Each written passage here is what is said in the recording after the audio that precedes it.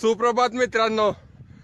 दिवस दुसरा आणि आजचा प्लॅन आहे आपण संजीवनी माची बघणार आहे आणि नंतर तोरणा ट्रेक करणार आहे. आम्ही आत्ता हे जे तुम्हाला मागं दिसते हा बाले किल्ला आहे. इकडं जात नाही आपल्याला वेळ कमी आहे.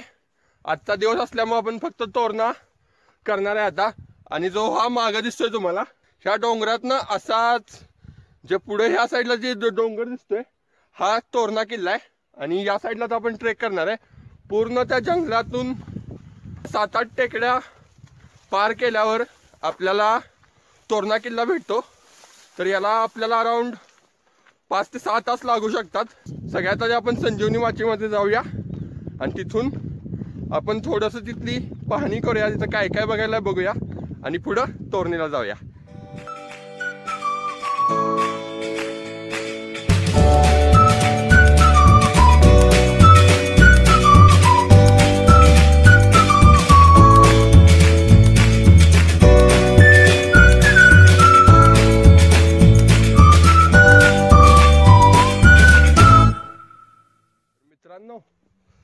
जबरदस्त बाले किल्ला दिसतोय बघा. एकदम खतरनाक दिसते यार कसला व्ह्यू आहे.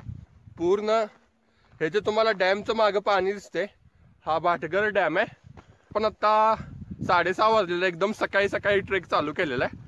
कारण आपल्याला बरंच डिस्टन्स कव्हर करायचं आहे. एक बारा ते चौदा किलोमीटरचा प्रवास आहे आज आज आपला. त्यामुळं थोडंसं अर्ली मॉर्निंग स्टार्ट केलं. बघूया आता पुढं काय होणार आहे काय माहीत. आम्ही दोघंच थांबणार आहे. कारण ते दोघे जण आमच्या टीममधून ते आता पुण्याला परत निघालेत. त्यामुळं आम्ही दोघंच असणार आहे. करण आणि मी. दोघंच आम्ही अख्खा तोरणा पार करणार आहे. मित्रांनो आपण आता संजीवनी माचीमध्ये पोहोचलेलो आहे. आपल्याला त्याचा सुळका आपल्याला आता इथून नजरेस पडतोय. या माचीला टोटल तीन साईडना तटबंद आहे. आणि टोटल एकोणीस बुरुज आहेत सुवेळा आणि पद्मावती माची. यानंतर या माचीचं काम चालू केलं होतं. आणि शिवाजी राजांनी याची दुर्गमता लक्षात घेऊन ही माची बनवली होती.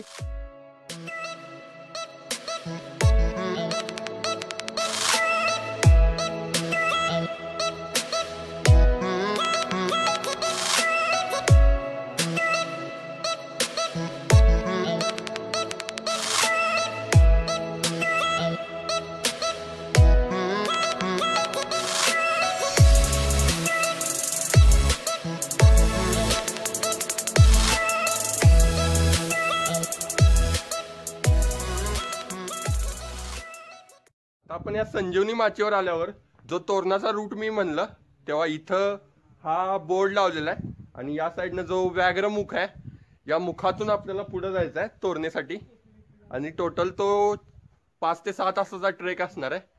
त्यामुळं बराच इंटरेस्टिंग व्हिडिओ आहे. तुम्ही शेवटपर्यंत बघा. समोर हा रोड दिसतोय. हा पूर्ण तोरणेच्या तिथं जातोय. आणि त्या साईडला एक घर दिसतंय. म्हणजे दिसतंय की ना आता मला माहीत नाही. कॅमेऱ्यामध्ये किती क्लिअरिटी आहे माझ्या. पण तिथं म्हणजे पन्नास टक्के ट्रेक कंप्लीट होते.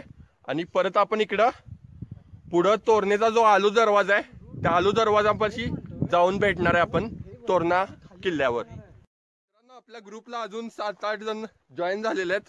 आणि आता आपल्याला बरीच कंपनी मिळाल्या. त्यामुळे आता आपण ट्रेक चालू करणार आहे. जो दिंडी दिंडी दरवाजा आहे ना हा? हा. तर या दिंडी दरवाजाच्या तिथून आपल्याला हा यू शेप घ्यायचा आहे. या साईडून असा यू शेप घेऊन आपण या खालच्या दरीतून पुढे त्या साईडला तोरण आहे. तिकडं आता आपण ट्रेक चालू करतोय.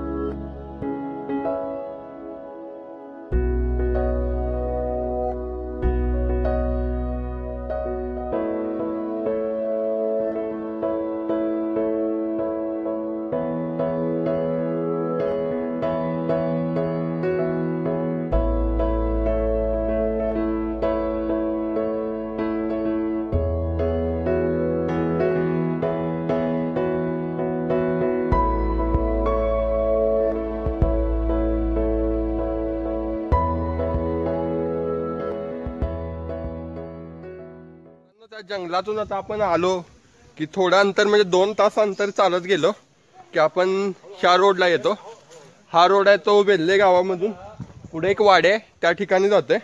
आता आपण इथूनच असंच पुढं जायचं आहे ह्या रोडनी पुढं जायचं आहे तर मित्रांनो पन्नास टक्के आपला ट्रेक झाल्यामुळे आम्ही एक तिथं मध्ये ब्रेकफास्टसाठी थांबलेलो आहे. काहीतरी खाऊन आता थोडी एनर्जी मिळवतो. कारण बरंच ट्रेक आहे. काय आणलं हे आम्ही जेवण करायसाठी दही चटणी ताक सोलापुरी स्पेशल आहे दिवाळीचा सगळा फराळ शिल्लक राहिलेला घेऊन आलोय आम्ही. मस्तपैकी नाश्ता करून आम्ही पुढे निघणार आहे. यस मी अजित वायचळ कुर्डवाडी जिल्हा सोलापूर. हा. या ठिकाणी आपण जवळपास पंच्याहत्तर टक्के ट्रेक संपवलेला आहे. आणि शेवटचा जो टप्पा आहे तो म्हणजे अभूतपूर्व हा हा. उत्साह निर्माण करणारा जो प्रॉपर ट्रेकर आहे हा. त्याच्यासाठी हा एक विलक्षण भेटच आहे.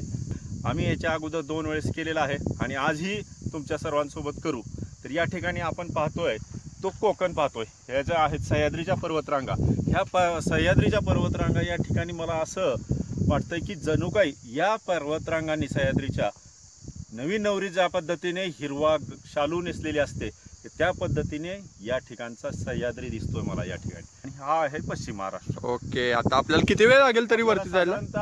एक स्टँडर्ड टाइम म्हटलं तरी पण साठ एक मिनिट लागतील. साठ मिनिटं लागेल. शेवटपर्यंत जायला. ओके